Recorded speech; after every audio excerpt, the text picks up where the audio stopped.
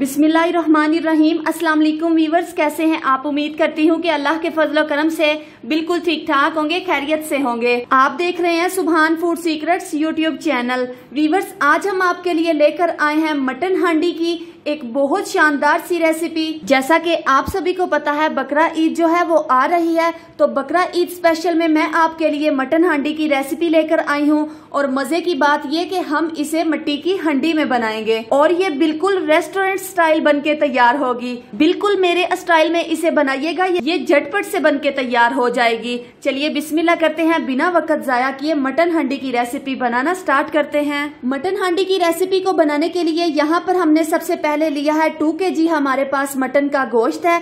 गोश्त को हमने बहुत अच्छी तरह से धो के साफ़ कर लिया हुआ है। आप यहाँ पर ये मटन का गोश्त वन के जी भी ले सकते हैं, हाफ़ के जी भी ले सकते हैं। अपनी फैमिली के हिसाब से आप लोग मटन का गोश्त ले लीजिएगा। और यहाँ पर दूसरी तरफ़ गैस पे रखेंगे हम। एक अदद मट्टी की कढ़ाई है हमारे पास। आपके पास कोई हंडी है तो कोई मसला नहीं, आप वो भी यूज़ कर सकते हैं। और इस मट्टी की कढ़ाई को कैसे इस्तेमाल किया जाता है? ऐसी कौन सी टिप्स एंड ट्रिक्स हैं जिसे आप फॉलो करके इस मट्टी की कढ़ाई को काफ़ी अरसा तक महफूज रख सकते हैं? ना इसमें क्रैक्स आएँगे और ना ही ये खराब होगी। इस कढ़ाई को महफूज करने की पूरी जो वीडियो है वो मेरे चैनल पे मौजूद है। आप लोग ज़रूर वॉच करिएगा और बिल्कुल इसी तरीके को फॉलो करके आप कढ़ाई को इस्तेमाल करिएगा। कोई मसला नहीं है, ना ये खराब होगी और ना ही इसमें क्रैक्स आएँगे। और अब हम इस कढ़ाई में ऐड करेंगे मटन का गोश्त है, वो हम इसमें ऐड करेंगे।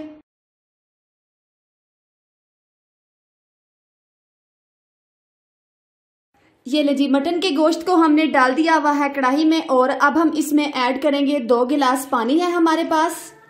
और फ्लेम को यहाँ पर अब हम ऑन करेंगे। पानी को ऐड करने के बाद अब हम साथ ही इसमें ऐड करेंगे। ये हमारे पास खड़े मसाले हैं, जिसमें एक तेज पत्ता है, दालचीनी स्टिक्स हैं, तीन बड़ी इलायची हैं, तीन छोटी इलायची हैं, लौंग है और साबुत काली मिर्चें हैं और साबुत जीरा है। वो हम इसमें ऐड करेंगे। इन खड़े मसालों को डालने से होता ये है कि इसमें बहुत ज़बरदस्त सी खुशबू आ जाती है और बहुत ही टेस्टी फ्लेवर आता है। और अब हम इसमें ऐड करेंगे दो खाना खाने के चम्मच हमारे पास अदरक और लहसुन का पेस्ट है। वो हम इसमें ऐड करेंगे। और साथ ही हम इसमें ऐड करेंगे दो मीडियम साइज़ के प्याज थे, जिनको हमने रफली काट लिया हुआ है। प्याज को ऐड करने के बाद यहाँ पर अब हम दो मीडियम साइज़ के टमाटर थे, जिनको हमने रफली काट लिया हुआ है, वो हम इसमें ऐड करेंगे। ये ले जी, अब यहाँ पर बारी आ जाती है इसमें कुछ स्पाइसेस ऐड करने की। यहाँ पर सबसे पहले वन टेबल स्पून हम इसमें नमक ऐड करेंगे। और यहाँ पर हाफ़ टेबल स्पून हम इसमें हल्दी ऐड करेंगे। इससे जो इसका कलर है, वो बहुत ही खूबसूरत आएगा। वन टेबल स्पून भर के हम इसमें ऐड करेंगे खुश्क धनिया पाउडर और वन टेबल स्पून भर के ही हम इसमें ऐड करेंगे जीरा पाउडर है हमारे पास। और यहाँ पर साथ ही हम इसमें ऐड कर देंगे वन टेबल स्पून हमारे पास लाल मिर्च का पाउडर है। स्पाइसेस जो हैं, वो आप अपनी मर्ज़ी से कम ज़्यादा कर सकते हैं, कोई मसला नहीं है। अगर आप तीखा खाना पसंद करते हैं तो स्पाइसेस ज़्यादा ऐड कर लीजिएगा, ठीक है? ये ले जी, सारे स्पाइसेस माशाल्लाह से हमने इसमें ऐड कर दिए हुए हैं और पानी भी हमने इसमें बहुत अच्छी तरह से तकरीबन ढाई गिलास ऐड कर दिया हुआ है।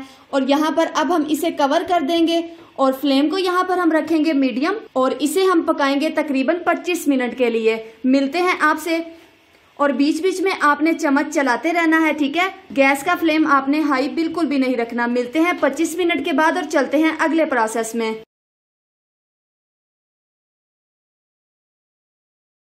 ये लें जी, यहाँ पर हो चुके हुए हैं तकरीबन इसे 15 मिनट भूनते हुए और आप देख सकते हैं मटन हमारा जो है वो ज़बरदस्त सा भुन चुका है। कुकिंग ऑयल जो है वो अलहदा होने लग चुका है। इसका मतलब जो मटन का गोश्त है वो बहुत ज़बरदस्त सा भुन चुका हुआ है। ग्रेवी जो है वो आप अपनी मर्ज़ी से कम ज़्यादा कर सकते हैं। अगर आप लोग ग्रेवी ज़्यादा पसंद करते हैं तो इस पॉइंट पर आकर इसमें थोड़ा सा पानी ऐड कर दीजिएगा और थोड़ा सा इसे पका लीजिएगा। लेकिन मुझे यहाँ पर सिर्फ़ इतनी ही ग्रेवी चाहिए है और अब हम इसमें ऐड करेंगे हरा धनिया और साथ ही हम इसमें ऐड करेंगे लंबाई में कट की हुई हरी मिर्चें और साथ ही हम इसमें ऐड कर देंगे स्लाइसिस में कट किए हुए लीमू। और अब हम चलते हैं फाइनल लुक की तरफ़ और आप लोगों को डिश आउट करके दिखाते हैं कि मटन हांडी कितनी ज़बरदस्त और कितनी शानदार सी बन के तैयार हुई है। फाइनल लुक को आपने मिस बिल्कुल भी नहीं करना है। और अब हम यहाँ पर एक सर्विंग बॉल लेंगे और इसमें हम ऐड करेंगे, ये हमारे पास है मटन का गोश्त जो कि हमने तैयार करके रखा हुआ था। तो तैयार है, माशाल्लाह, अल्हम्दुलिल्लाह अल्हम्दुलिल्लाह, ज़बरदस्त, टेस्टी मटन हांडी। ये बहुत ज़्यादा टेस्टी बन के तैयार होता है, बहुत ही ज़्यादा शानदार बनता है। आप लोग भी बकरा ईद पर ज़रूरी से अपने घरों में ट्राई करिएगा और मुझे फीडबैक ज़रूर दीजिएगा। मिलते हैं इनशाला नेक्स्ट वीडियो के साथ नेक्स्ट रेसिपी के साथ। तब तक रखना है आपने अपना ढेर सारा ख्याल, दुआओं में याद रखना है। हँसते रहिएगा, मुस्कुराते रहिएगा। अगर आपको मेरी वीडियोस पसंद आती हैं तो इसे अपने फ्रेंड्स और फैमिली मेंबर्स के साथ ज़रूर शेयर करें। तो आप इस मटन हांडी को ज़रूर इस ईद उल अजहा पर ट्राई करिएगा और मुझे फीडबैक ज़रूर दीजिएगा। मिलते हैं नेक्स्ट वीडियो में नेक्स्ट रेसिपी में। मुझे कमेंट सेक्शन में ज़रूर बताइएगा कि आपको मटन हांडी की ये जो शानदार सी रेसिपी है, ये कैसी लगी है। मुझे आपके फीडबैक का इंतज़ार रहेगा।